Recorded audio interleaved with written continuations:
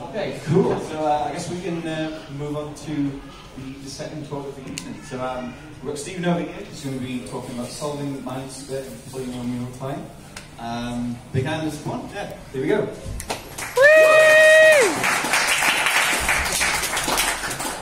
Hello, uh, I'm Steven, and this is how you solve Minesweeper and polynomial time. Uh, so, bear with me. Tech problems that are traditional. Good. Right, there we go. So, in December, I gave a lightning talk. It was three minutes. It was about how to solve Minesweeper. Um, I was very kindly invited to come here and give uh, a longer version, 15 minutes. And I thought, yeah, that's fine, no problem, can do. Um, so the last talk I did was actually quite light on details. So I thought, yeah, fantastic. Instead of just explaining how to do it, we'll actually explain how to implement it instead of just how to use solve it. Uh, so how do we solve in polynomial time? Easy, yeah, we can read all the slides. It was a great idea. Uh, I could talk about theoretical computer science and I easily filled 15 minutes. Everything was going to be great until I hit one small problem. it's not possible. so, uh, no matter, uh, we'll come up with a new talk, uh, a different talk, uh, innovative features. Uh, like features such as being written on short notice on a low budget. Uh, so, here goes. Things are going to get very, very weird. Um, so just bear with me.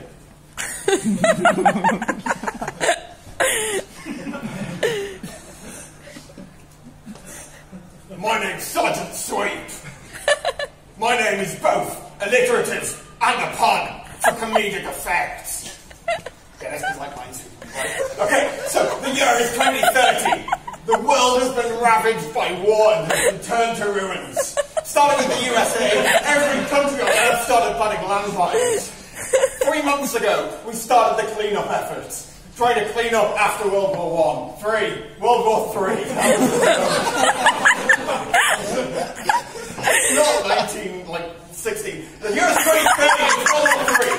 This is doing really well. Um, we mostly use robots for the cleanup efforts. We don't want humans to do it. It's 2030, everything's automated. But there was one task that our robots couldn't do.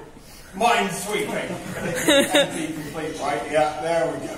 Full circle. So, all but one of the robots exploded from sheer confusion.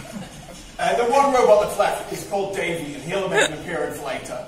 Um, so now we come to you, our new army recruits. Uh, you've come in to help out with the cleanup, because the robots can't do it, we've got humans to do it. It's good to see you. Your names? Irrelevant. Your mission? to sweep mines. And your training on the job. Your reward? is Leftover Christmas chocolates and Converse! You! yeah! Right. It's going to down from here, honestly. so, go. And now, great as tech is, this is the point where we swap a laptop. Uh, we just, uh, just swap, swap it, put this one over here. Um, they don't teach you tech in army school. Um, power cable. Yeah, fantastic. Go that. I got the warning over that. Minesweeper. Uh, welcome to basic training. You are a new recruits, and we are going to teach you how to sweep mines. So, hands up, who has played Minesweeper before? Training is mandatory. You won't be getting out of it like that. This is how Minesweeper works. Every cell can contain either a mine or it can be or it can be clear. If it is clear, it will contain a number from 0 to 8, telling you how many mines are surrounding it. For example, this one says that those two mines contain, sorry, those two cells contain exactly one mine. And the blank ones are zeros, which you can, uh, yeah, they're zeros. So the three in the middle, for example, this says that those three cells must contain exactly three mines. Of course, that means that all of them must be mines. And we can flag it. We can see that here in the target section. Three cells, three mines, it's red, we can flag it. If we click that, now this two is satisfied. It says that it needs two mines next to it, and it already has two. So we can satisfy that. We can uh, clear around that constraint. And we can do that, and we can just repeat this. So now there's one is already satisfied, this one's already satisfied, and there's only one way to satisfy this two. That's basic training. And this is where the audience participation kicks in. so does anyone see, for chocolates, what we could clear or flag here? I want you to put your hands up, and then Gavir is going to run at you. Take your pick, Gavir. Uh, bottom left. Bottom left too. Well, look, I've actually got this. Look, CSS transform and everything. Oh. So, cell 28, we'll have in the future, please. so, correct, we could flag that. Uh, I think that that was approximately as good as one of these red chocolates. There you go. Very good. Do shout out if you're vegan, please, because we've got Pom-Bears and they're going to have to go to use. Anyone else? What else can we clear now using what I've just taught you about clearing and flagging? Show the numbers. Show the numbers, thank you. I spent hours on that. 44. 44. So, 44, this one down here, you can clear this Clear. because of this constraint. Yeah. Yes. So, because that one is already satisfied, we can clear it. Any more? This one's pretty easy. Can you show the numbers again? yeah. I'm going to remember Uh, eventually. 18, please. Number 18. I haven't taught you how to do that. Anyone else? 58. Cell 58. Yes, you can. You can clear it because of this one. This one is already satisfied, so we can clear around there. Does anyone see anywhere else that we can clear now? No, because there is no other place you can clear now. That means that it's time for advanced training. Sometimes there's nowhere that we can clear or flag in our Minesweeper board. And that's because we actually, instead of looking at any of these individual constraints, we need to look at how two constraints interact. For example, this constraint says that any of those two cells must be a mine. One of the two cells must be a mine. This constraint says that one of those three cells must be a mine. But we know because of the orange constraint that it's one of the two on the left. Because, so that's subtraction. Essentially, we can say that that cell on the right can't be a mine, because the mine must be one of the two on the left. In a very general term, we can do subtraction anytime you have one constraint which is a subset of another. Um, and you can see that actually Davy there has been repurposed, and his job is now to automatically clear things that are trivial. Uh, so because we, that subtraction, we knew there wasn't a mine there, Davy has helpfully cleared it for us. Um, and then we can just proceed using the things that we've learned in the past. But subtraction is hard, and you are only recruits. So we're going to have a little bit more training. Um, in this situation, again, we can apply the same rule that we had before, where this one says there is a mine in one of these two, this one says there's a mine in one of these three. Subtract and we can clear that one. But actually, we can try and apply it here, and we end up with a new constraint. It's not something that we can clear off like immediately. Uh, so because there's one mine here, and there's two, so yeah, there's one mine in these two, which means that there's one mine in these three in order to satisfy the two. We can't do anything with that yet, but if we subtract this one again, and we subtract both of these ones from the two, we can say that there can't be anything in that corner. There is one other place that we can do subtraction here, which is on these two cells. They produce constraints where one is a subset of another, and we can subtract to clear these bottom three cells.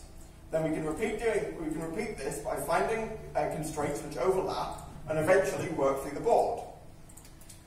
Um, so pay attention.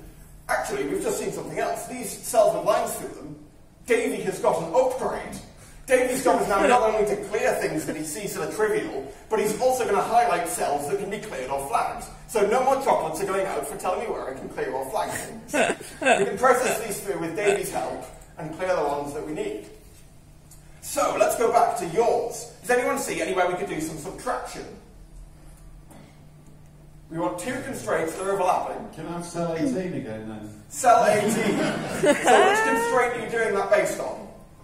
Uh, the two ones at the top. These two. Yeah. So you want to subtract those from each other, and that will produce not cell 18. Cell 32 can be cleared. Yeah.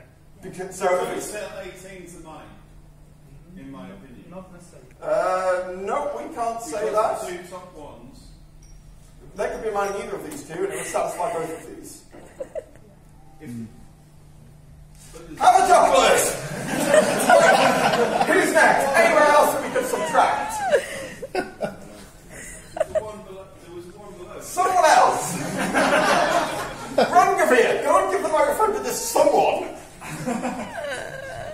We've got. Right, where can we subtract? I don't know. Ah. Okay, if I click this one, does anyone see any other cell which would create a constraint which is a subset of this one?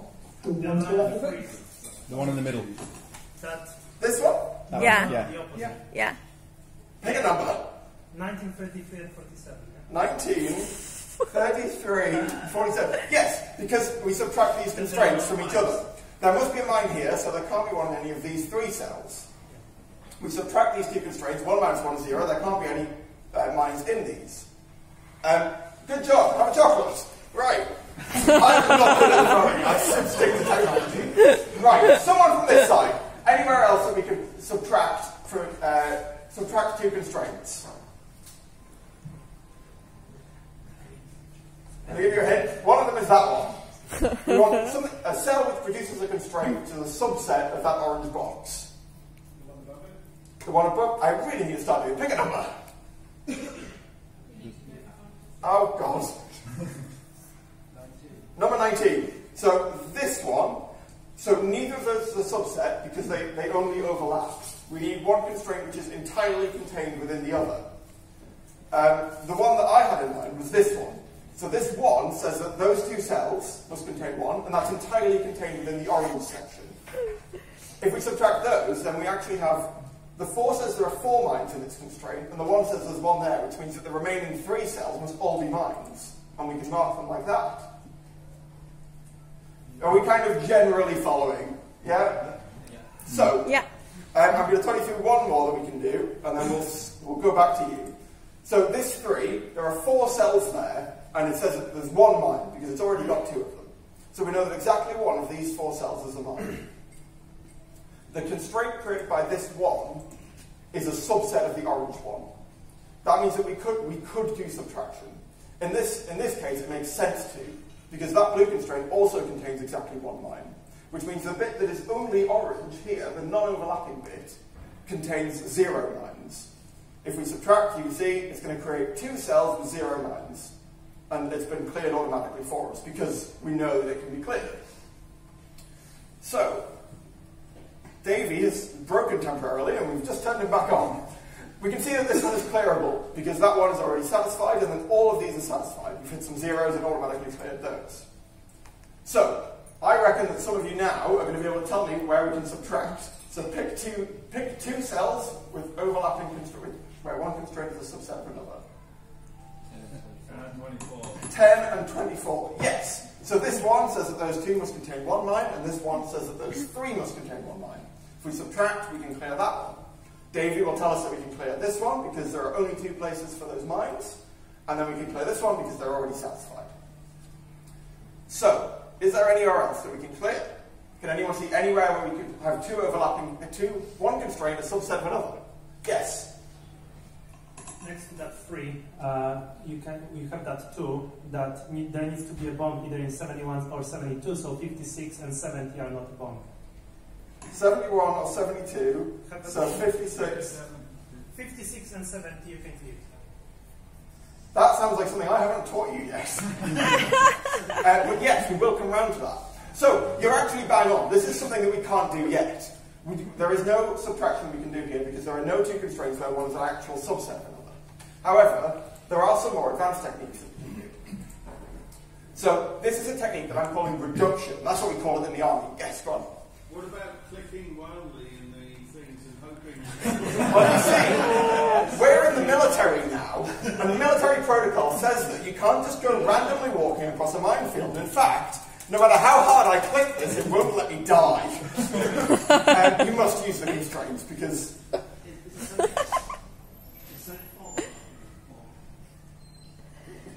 Let's work on this, right. So, given a, given a cells must contain exactly two mines.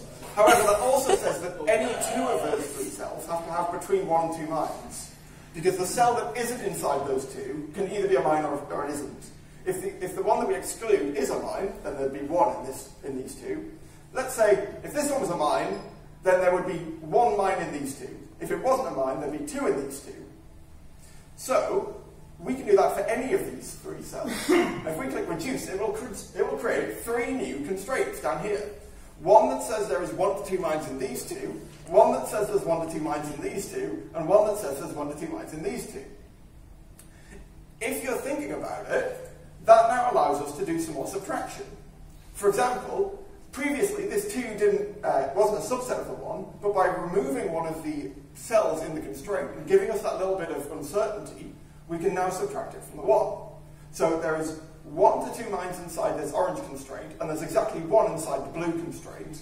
So we know there can't be 2 in the orange constraint, and we know that there isn't any here at all, because they're all inside the orange constraint. And subtracting it will show us that, and let us clear that one cell. We can then just go back to our more normal subtraction. Uh, we can do the 2 in that section, there's only 1 in the 1's constraint, so there must be a line there. And then we can go back to our normal clearing. There we go, success. but there are even more complicated constraints. Uh, sorry, even more complicated setups, such as this one. Uh, this is actually a commonly given example as to why mine, uh, Minesweeper is NP complete. But we can kind of solve it here, mostly because we're humans. This 2, if we reduce it and take this constraint, we can subtract from the corner 2, which says these 5 cells have 2 in them, but we know that these orange have 1 to 2 in them. Subtract that, we get a new constraint that says these 3 have 0 to 1 cells, uh, 0 to 1 lines, and then we can do the same on the other side. Reduce this constraint, take the bottom one, and subtract that from our new one. And we can actually say that that corner cannot be a line, because we know at least one line is in the, uh, the 2 above it, and at least one line is in the 2 to the left of it. That satisfies the 2 in the corner, and that lets us solve that. And from here, we can just work our way around with basic clearing and flagging, no subtraction required. There is one other button that I have here, which is merge, and I'll briefly explain that to you. Essentially, sometimes we can end up with constraints down here, which constrain the same cells, but with different upper and lower bounds. If we have two constraints which constrain the same cells, but one has a higher lower bound, and one has a lower upper bound, we can merge those together and take the highest lower bound and the lowest upper bound. For example, if we reduce this one and take uh, that one, these two, and then we do, yeah, we reduce this one. Sorry, this is a little bit complicated, but it does come in handy. So we can then subtract these two, and we can say, as we had before, that this contains between 0 and 1 lines. Obviously, that means that these two also contain between 0 and 1 lines, which is this constraint. But now these two constraints are both constraining the same two cells. One says there's between 1 and 2 lines, and one says there's between 0 and 1 lines. For both of those to be true, it can only be true that there is exactly one line, and in fact we can merge it and get a constraint that says there's one line. I'm not sure you're going to need that, but you might do, depending on how you solve this next bit. Going back to the things that we've just learned, take a moment and take a breath. Have a look at this and see if we can see anywhere that we could use reductions and subtraction to solve this. Hands up again. I've got a lot of chocolate to give away. Yes, uh, cells. Here we go. 74, yes. Why? Which constraint are you basing that on? from cell 72. So Sorry. cell 50. So are you, these two. So it's already one. Yep. So if we reduce uh, the two, sorry, reduce the two, we turn those on. Bear with me. so if we reduce the two and take the rightmost two cells, and that says there's between zero and one cells in there, uh, which doesn't tell us anything about this, other than that there are zero to one cells in there as well. So we can't be too sure because the two already has one bomb next to it. Then all we can say is that there is one line here, meaning there's between zero and one in here, because it might be here then when we subtract, we just end up saying again there's 0 to No, no, 1. but it's zero mines in that. Yeah, this one here, yeah, that one doesn't have a mine because there is one that two. right, yes, we've just done this the wrong way. So this one subtract this one is what we wanted. This one says that these two cells must contain one line. This one says that these five cells must contain one line. Obviously, the only place a line could be is in the ah. orange, and we subtract. That was my bad interpreting instructions wrongly. But if we follow through with this clearing and flagging, we can end up clearing all of this. Good job. Anything else that we could do? Can I have cell 18, please? Cell 18. you still can't say anything about cell 18. You, you, you can't say anything about cell 18. You This is roll the no, it's literally impossible. I haven't coded the functionality of just clicking a cell. I made this. We'll get there. 97, please. Cell 97. Okay, so cell 97 is what you have there. Should have seen that one coming. One of the things that we looked at quite a bit before was looking at these ones and twos that overlap. So I'm going to throw it out there straight away that we can reduce this 2 and just take the two leftmost cells. So we know that there are between 1 and 2 lines in this orange section, and if we subtract the 1, then we can say that there is 0 lines inside the green, because there is a minimum of 1, a maximum of 1, and we know that there's at least 1, so yes, we can know that there aren't any mines there.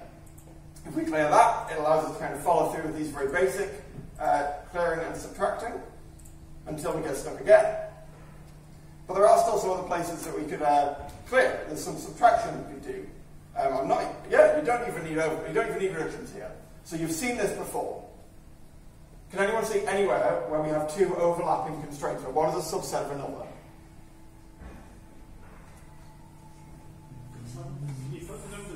Yeah, numbers, here we go. three and two on the right hand Yeah, side. it's 60. The, the, 81, 82.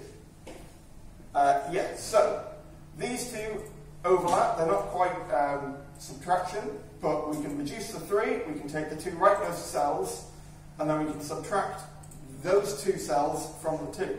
And that's going to tell us that there's between one and two lines inside those three rightmost ones. Do we see anywhere else that we can go from there? 91, 92. So that's, uh, do you mean these two? Yeah. So if we reduce the 4, is that what you want? Yeah, take the two rightmost cells from there, and then subtract that from the 3, which is actually a 1, and that can clear that set. Good job. I've been really forgetting about these. You just need to shut up. you can have one as well. Good job. Right. So we've managed to clear that 3. Where else can we do now? That's actually opened up some new possibilities for us. Here are the numbers. Next to that 4, you can clear the 61. I think it's not the 61 is this one here. Yes. And I think it's the same because of this. because of these ones, yeah. Yeah. So the 1 says that these two must contain one line, and the 4, it has three of its bonds already, so this L shape contains one line. If we subtract those, we can clear that one. That one cell. Um, yeah, you can keep going. Anywhere else that we see?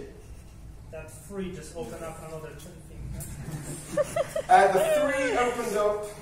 So, can you give the numbers? Yeah, here are the numbers. 75 is not the mine, right? Because of that 3 that just appeared. Because the same rule. 75 is not the. Which two cells are you combining here? Which two constraints? The constraints of the two 61 and ones 59. from 45 and 59? Yes, these two. Yes. Fantastic. So yes, the 3 has two of its lines already. We know that it must be satisfied by those two cells, and we can clear that one. We can keep going. We're, we're not stuck yet. Three and four. 3 and the 4, here are the numbers. 74 and 75. 74 and 75 are yes. So if we take these two, we can subtract.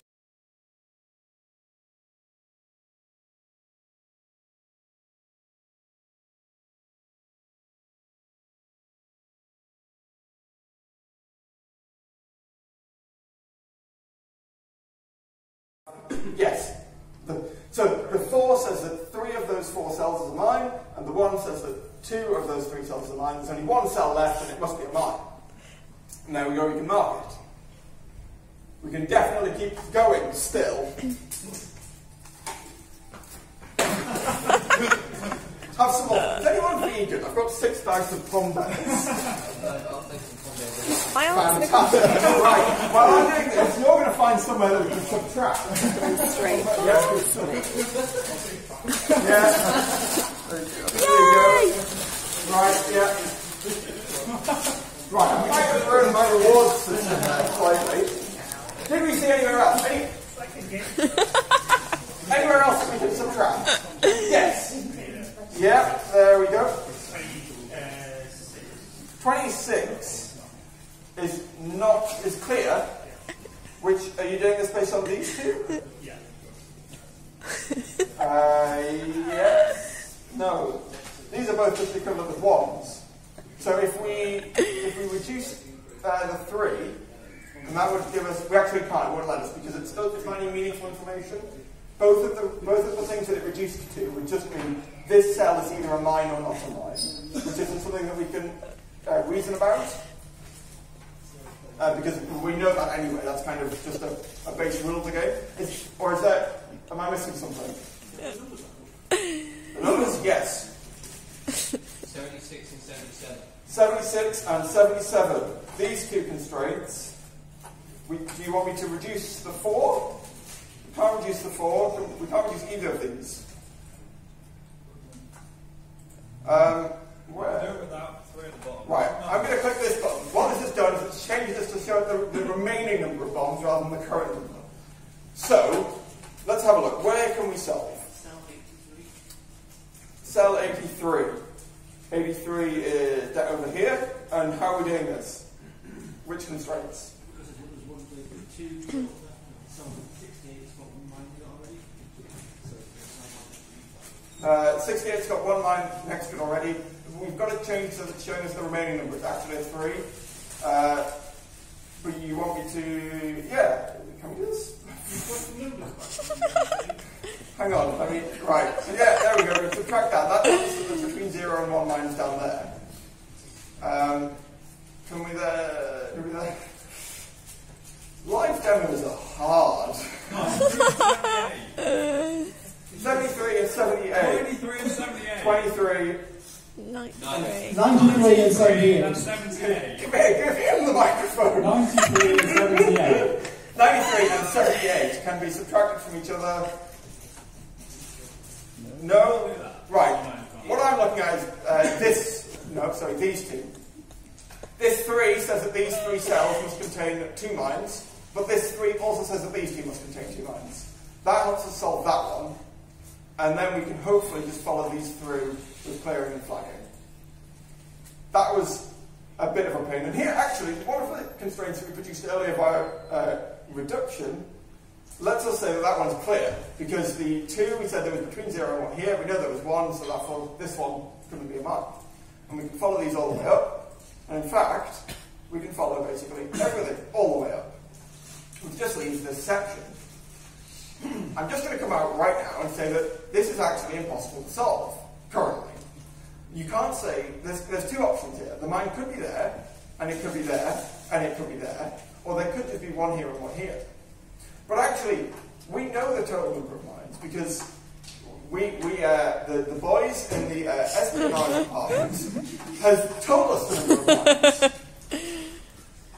And this is your final part of training. Have, let's, let's, Jesus Christ. I'm going to warn you before. I don't want a chocolate. Have you got any more hard hats? But maybe we'll throw them out. There you go. Right, so, looking at the fact that we now know the total number of mines, this board has six mines. We can use that like any other constraint. We know that there are three mines in this section, so we can subtract these two constraints. That produces this new uh, constraint, says that there are seven, uh, seven cells with three mines. We can do the same on the other side, and get down to the fact that there are now no mines in either of those top two corners. Because we know there are six, and we, we've accounted for all six. After that, we can just follow these through, and this is solvable with the subtraction and overlap, uh, subtraction and reduction stuff that we talked about earlier. So, if we now know the total number of mines, right, does anyone see what we can do with this? Here are your cell numbers. It's worth a chocolate. 60. 60. You can, you can subtract this constraint. So we have this constraint with 5, and this constraint here is a subset of that. Yeah? Yeah.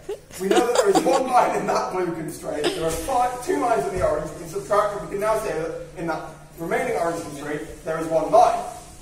We can do the same back up here, and we can subtract, and we can answer that there are no mines in that top section.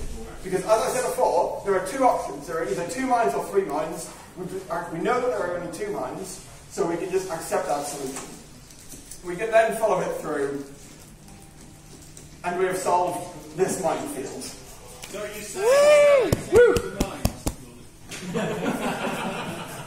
We said that there was no way of knowing, and there isn't, until we had until we got to the very end and accounted for all the other mines. Um, so, well done, army recruits. Um, you have successfully cleared your first minefield. There are only 14 more to go today, and then you'll be able to return home to your wives and families.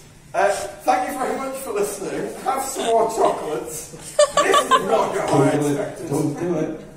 Don't, don't do what? Throw the chocolates? right, there you go, have some chocolates. Right. Um, that was how to solve Minesweeper in polynomial time? The answer is uh, use humans and not computers. Um, my name is Steven Waterman. You can read the code for this on GitHub at Steven Waterman. I've got a website, stevenwaterman.uk. All the links are on the, website. There we go, even better. Um, yeah, come eat, like, talk to me about what on earth just happened. Uh, I hope you enjoyed it, and I hope you have a good rest of the evening. Thank you very much.